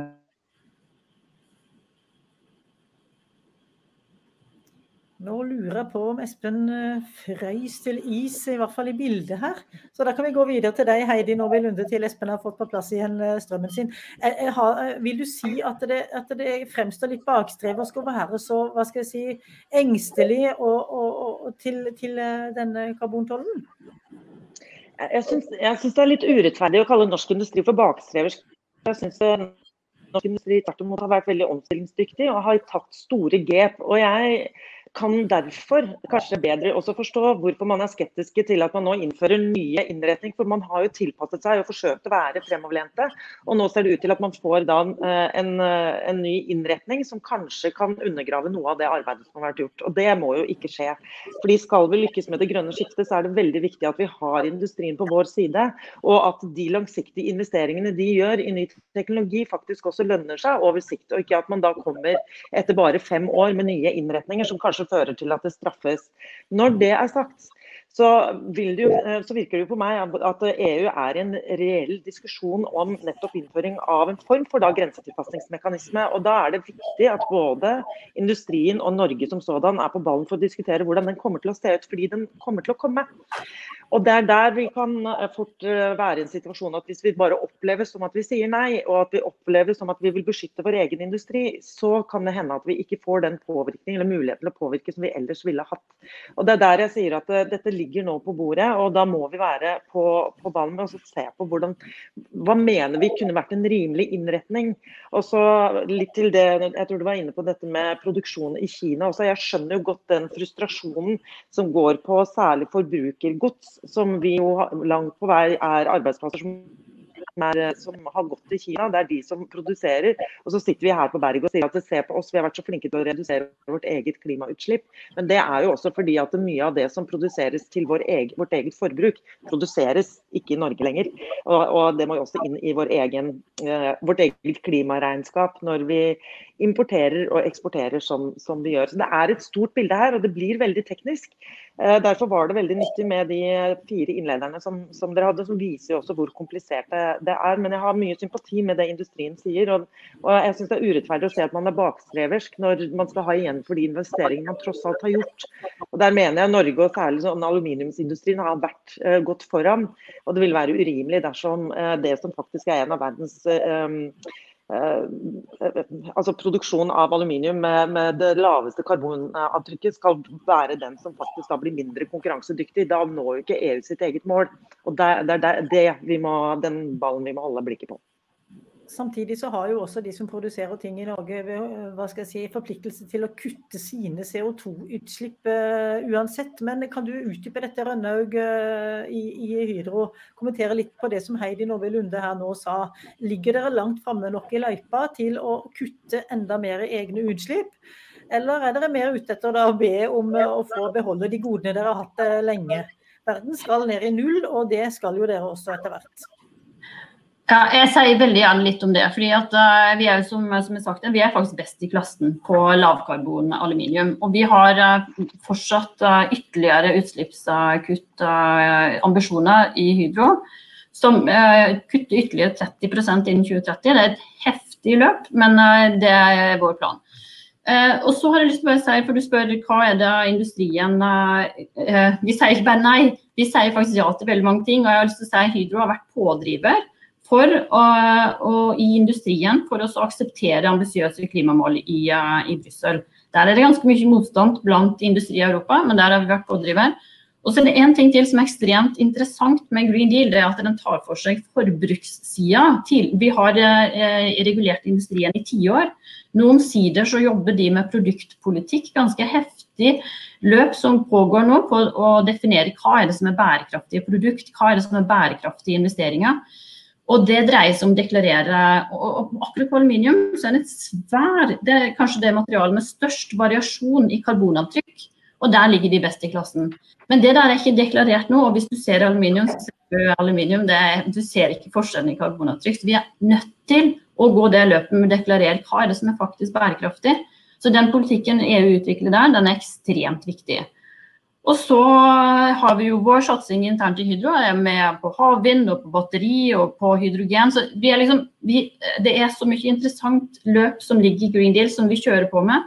Så vi kan ikke tillate at uh, vårt fundament og vår økonomiske fundament blir undergravd med et, uh, et, system som ikke virker. Og så har jo faktisk også EU utvikla et karbonlekkasjeinstrument. Den CO2-kompensasjonen er ganske godt utvikla. Den er blitt mer presis, mer proporsjonal. De som virkelig trenger det, får, og de som ikke trenger det, får mindre.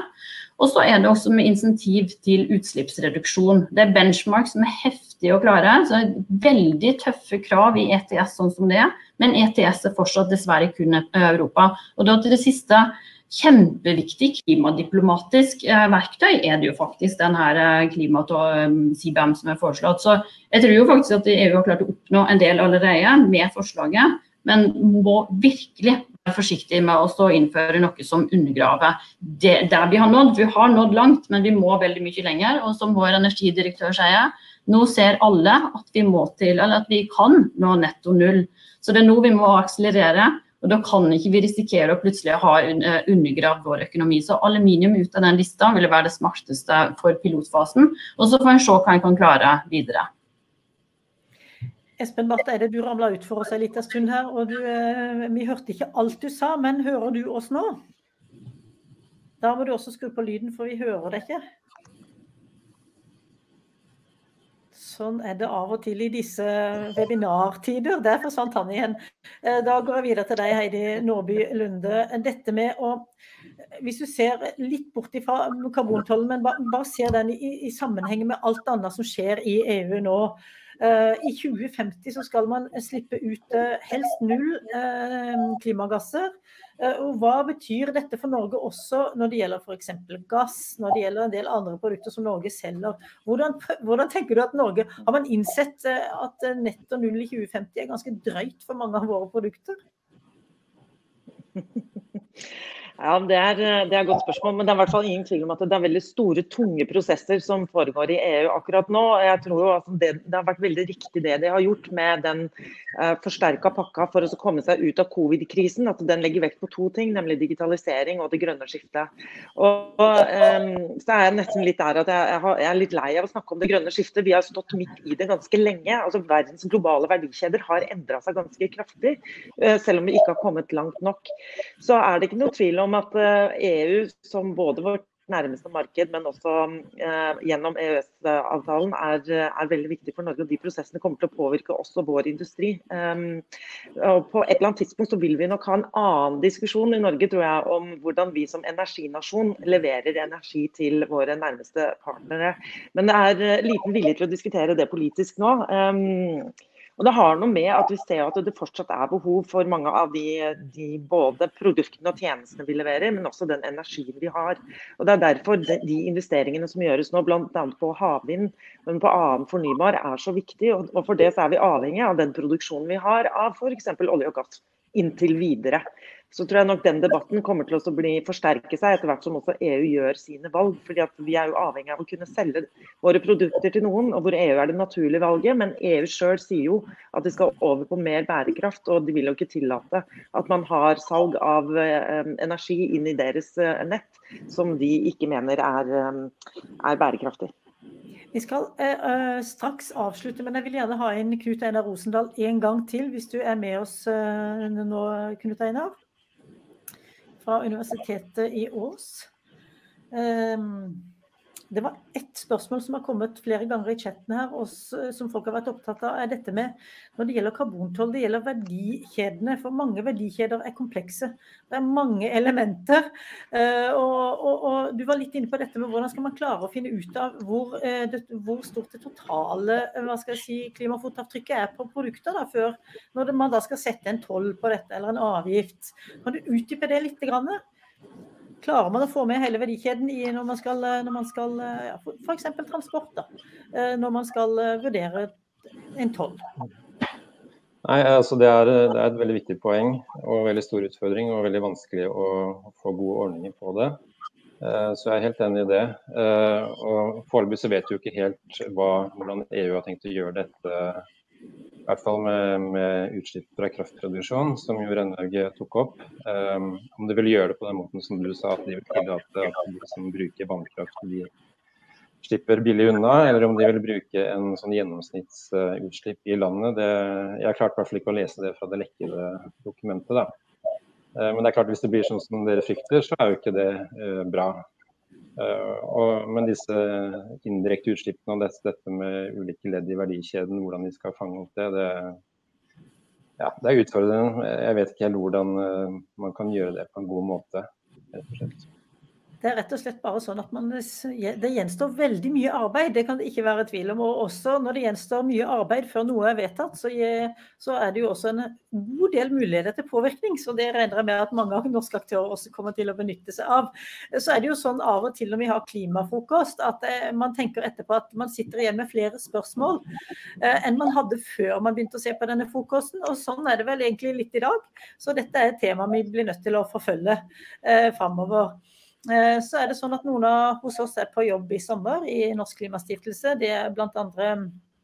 Alf Ole Ask, som er vår nye korrespondent i Brussel. Eh, han skal sammen med Ola Øvrebø, som er en av våre redaktører, skal skrive på energi og klima i sommer.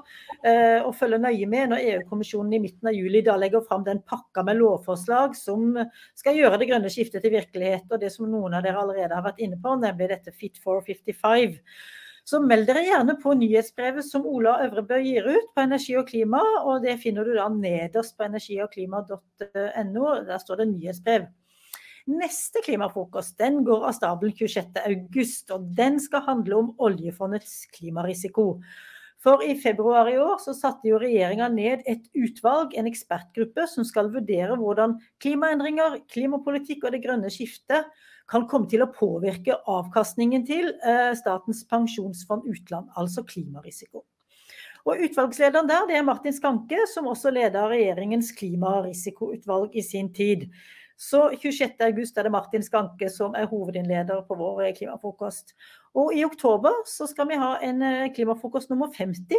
Og da inviterer vi til det kanskje aller viktigste temaet knytta til klimaendringene og klimakatastrofene. Og det gjelder internasjonal solidaritet. Og da tar vi utgangspunkt i at for hver 0,1 grad man klarer å begrense den globale oppvarmingen, så sparer man menneskelig lidelse i form av eh, ekstrem tørke og uh, matmangel og sult og, og destabilisering osv. Så det å begrense den globale oppvarmingen med 0, for hver 0,1 grad, det har noe å bety. Og det skal bl.a. Jan Egeland eh, utdype da i oktober. Så følg med på klimastiftelsen.no. Der legger vi ut under arrangementet hva du kan melde deg på. Så tusen takk til publikummere og til alle dere gode innledere og dere som var med i samtalen. Og tusen takk til Håvard Skaugen og Lars Henrik Pårup Mikkelsen, som er mine gode kolleger, som hjelper til de, og som er med i redaksjonen rundt de eh, klimafrokostene. Og så til slutt igjen takk til Kavli-fondet, som gjør at vi kan eh, få lov til å spre kunnskap og diskutere viktige temaer. Så ha en riktig god sommer i mellomtida, og ikke glem å følge med på Energi og klima og våre nyhetsbrev der. Ha det godt!